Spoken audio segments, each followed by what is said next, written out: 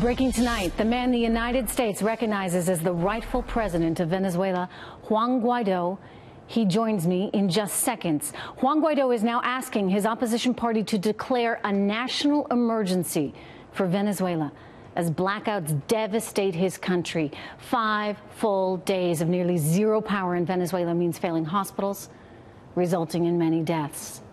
The blackouts are forcing millions of Venezuelans to demand something different. They are growing quite literally sick of the socialist dictatorship of Nicolas Maduro.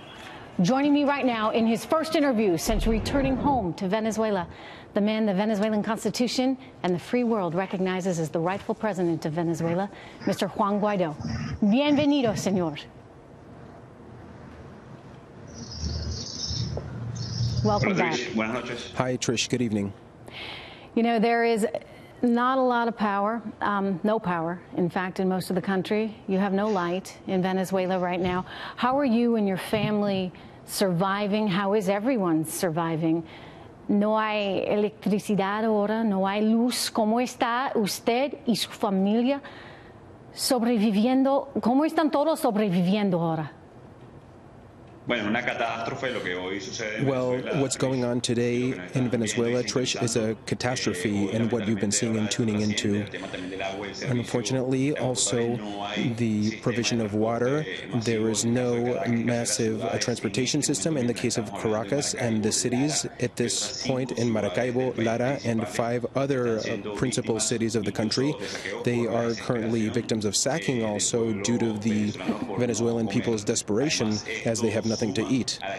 Besides, this adds to the already existing humanitarian crisis in Venezuela, and of course, a health crisis as well, which is generating over 25 deaths so far due to a lack of immediate medical assistance and power in a majority of Venezuelan hospitals. Some power has been restored intermittently in some cities, but we're seeing a very severe crisis which is affecting our entire country right now. You'll say, uh, you're declaring a state of emergency in your country. I believe this enables you to ask for international help. Uh, usted está declarando un estado de emergencia en Venezuela. Yo creo que esto permite pedir ayuda internacional. Eh, ¿Estoy en lo correcto? Eh, yes. Today we immediately proceeded in the Parliament, in the National Assembly.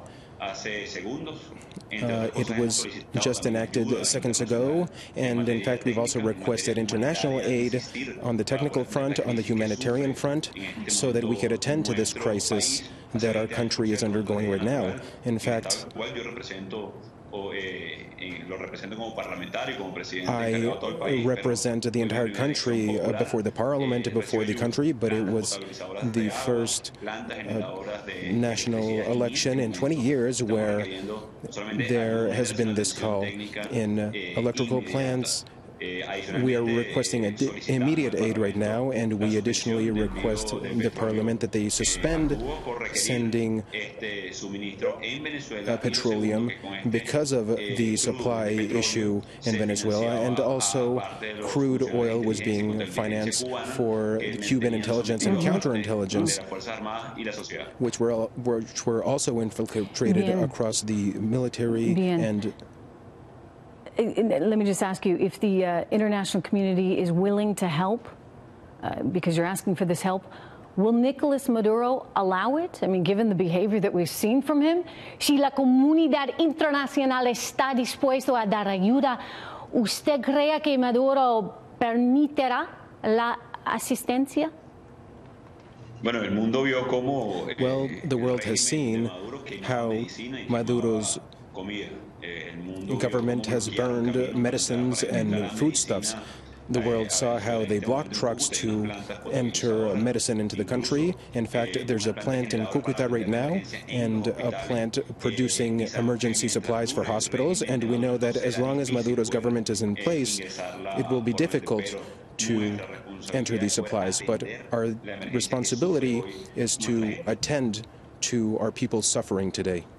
Sí, pero um, what happens if, if he refuses to allow the aid? Eh, ¿Qué pasa si se niega a permitir, o permitir la ayuda? Nosotros debemos insistir. Esto ha sido un movimiento We must insist. eh, de años. De Trish, de this has mayoría, de been de resistencia, de an effort years in the making de, eh, of protestas peaceful masivas. resistance, of Nosotros protest, massive protests. de- de penumbra, And at this en time, it is the moment of truth. It is time for us to insist. denunciar responsablemente la situación de conmoción en varias We ciudades del país, need to insist and renounce pueblo, tratando de buscar the commotion going on in our cities and hoy incluso en la ciudad the demand of our people for food, for water. tuvieron que bañarse In fact, today in our capital city, some citizens had to bathe in contaminada por no a river with a recycled with wastewater, as there is no water. We must insist on these provisions and tend to the situation that Venezuela is suffering, and in fact, they block aid and the, they block assistance to stabilize Venezuela's situation. Sí, creo que hay video, uh, hay video, there's, there's video of that, what you were just talking about with people trying to bathe in that sewage. Um, hay que nosotros estamos uh, viviendo hoy. Uh, there's, there's a section, sir, in your Constitution, I do believe, that says you can ask for outside military help. Uh, that's the video that we were talking about, La Gente Ahí. Um, I believe that there's a section in the Constitution where you could ask for military help. My question is, will you ask for it? Hay una eh, sección en su Constitución que dice que usted y la Asamblea Nacional pueden solicitar ayuda, ayuda militar extranjera. ¿Quiere usted preguntar para la ayuda? Sí, eso es parte del artículo 187 Yes, de that is nuestra part of Article Constitución, 187 que no es of our national constitution, which eh, is not capacidad para que algún país nos pueda only for Venezuela, but eh, it allows for an outside country Venezuela en ese to sentido. Así que, cooperate or to assist Venezuela in this sense. el artículo que me habilita como As we've uh, stated in this eh, article of our Constitution, construir las capacidades which empowers me as the person in charge esa ayuda y to employ whatever measures are necessary to enact this cooperation and this assistance for Venezuela. Entiendo, I understand. Importante. Um, I want to ask you this. There are some politicians in the United States, AOC, Ilhan Omar, that don't believe that this crisis is real. What would you say to them? Hay algunas políticas en los Estados Unidos, una mujer, mujer que se llama Alexandria Ocasio-Cortez y una otra que se llama Ilhan Omar, que no creen que esta crisis sea real. ¿Qué les diría?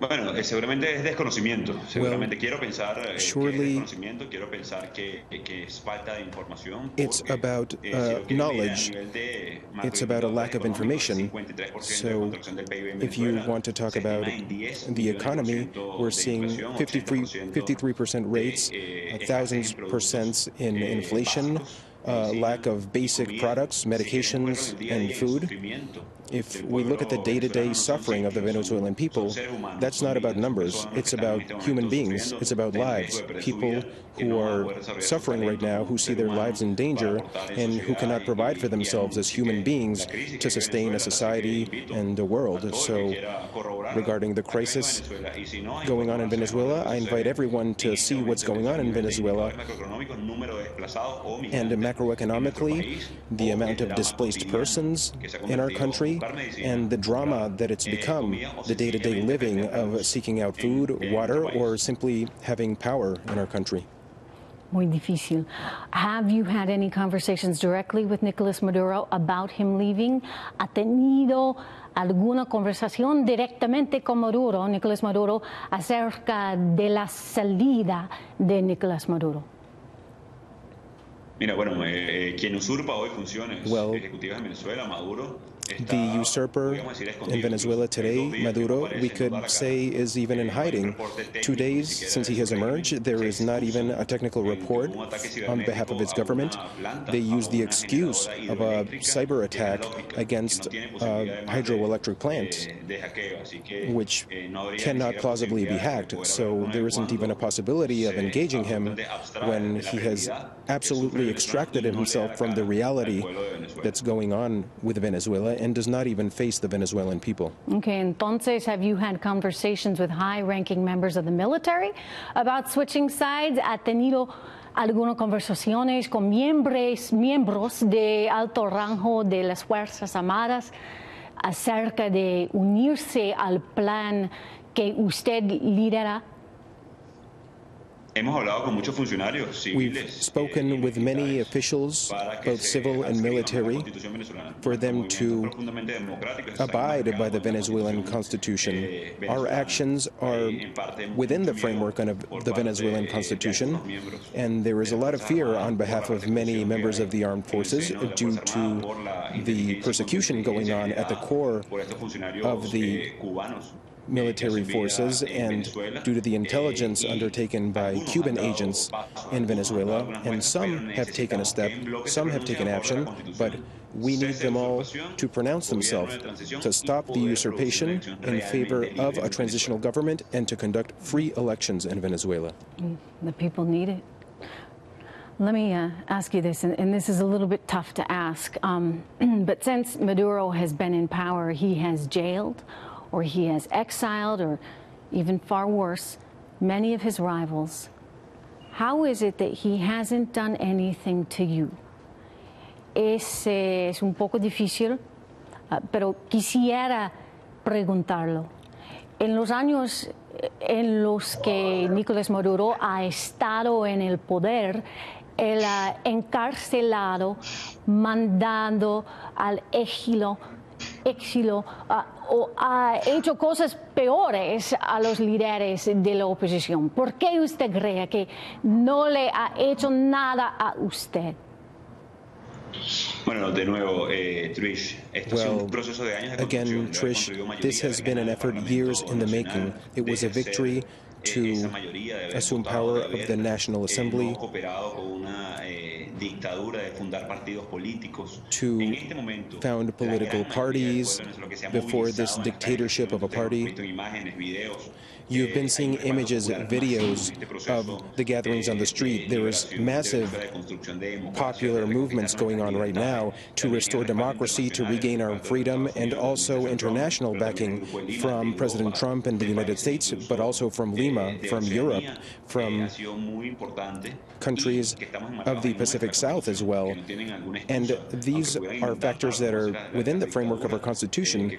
They have no excuse eh, to embark on this dictatorship. They don't like it called as, called it as such, but in terms of international backing and support, I think that that is continuing. Of course, despite the risk, política en Venezuela, there is risk involved eh, in maintaining our political freedom and our lives. protesta cívica, ese empuje But we are taking on eh, this este momento ejerciendo civic.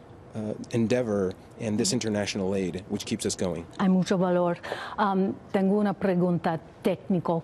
Uh, si, si no hay luz, I have a, a technical question here. Si no, ha- no hay luz, no hay electricidad, there's no electricity. ¿Cómo es posible que nosotros hablamos ahora? How is it possible for us to be speaking right now en la televisión?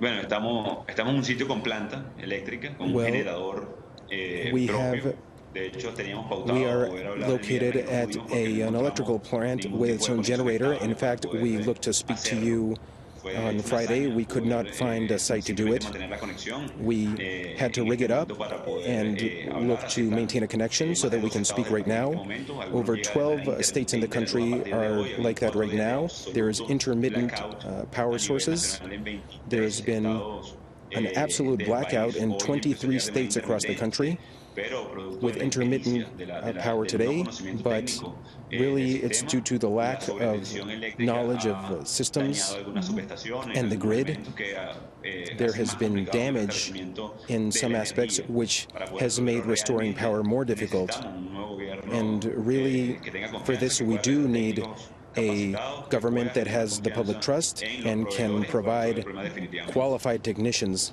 definitely. Um, finalmente, Nicolás Maduro dice que es por de los Estados Unidos y específicamente de Marco Rubio. Y, eh, ¿Qué dice a eso ahora? Mira, eh, Trish, yo lamento Forgive me, I gotta translate in English. que- que- que- Trish, I seguiré am excusando, seguiré mintiendo. deeply regretful 2009, that they can keep making excuses. decretaron emergencia eléctrica. Since 2009, un fenómeno- fenómeno natural, el There was a loss of Eh, en el electrical power, and they blamed the environment, invirtieron El Niño. 100 millones de dólares en el sistema In 2013, they eh, invested $100 million in the electrical grid of Venezuela that was absolutely robbed, stolen, sacked from the national treasury. And now the new excuse, and there was also a power outage in 2013. They blamed an iguana, an animal this size, for having eaten through a cable. Now, in 2019, a hydroelectric power plant that uses an analog system is being blamed for hacking. There is no possibility of one of the biggest dams in the world, like those in China and the United States, the largest, those are protected from this kind of phenomenon. They are not connected to the internet. So it's a very childish and frankly ridiculous excuse before the world. There has been, never been such a in Venezuela or anywhere else. Four days subjecting the most vulnerable populations to this, subjecting newborn uh, children. That's laziness, that's incompetence, and that's isolating Venezuelans from democracy. Lo siento, lo siento para usted y, y todo su país. I'm so sorry for you and for your whole country. Please be careful. Cuidado, señor. Cuidado ahora. Espero que recibas la ayuda que, que su país necesita. Señor Juan Guaidó, thank you so much. Muchas gracias, Trish. Saludos a los Thank que nos you escuchan y very much, Trish. la búsqueda de nuestra democracia. Greetings to all of those listen to, listening to us, and we will continue the fight. Indeed.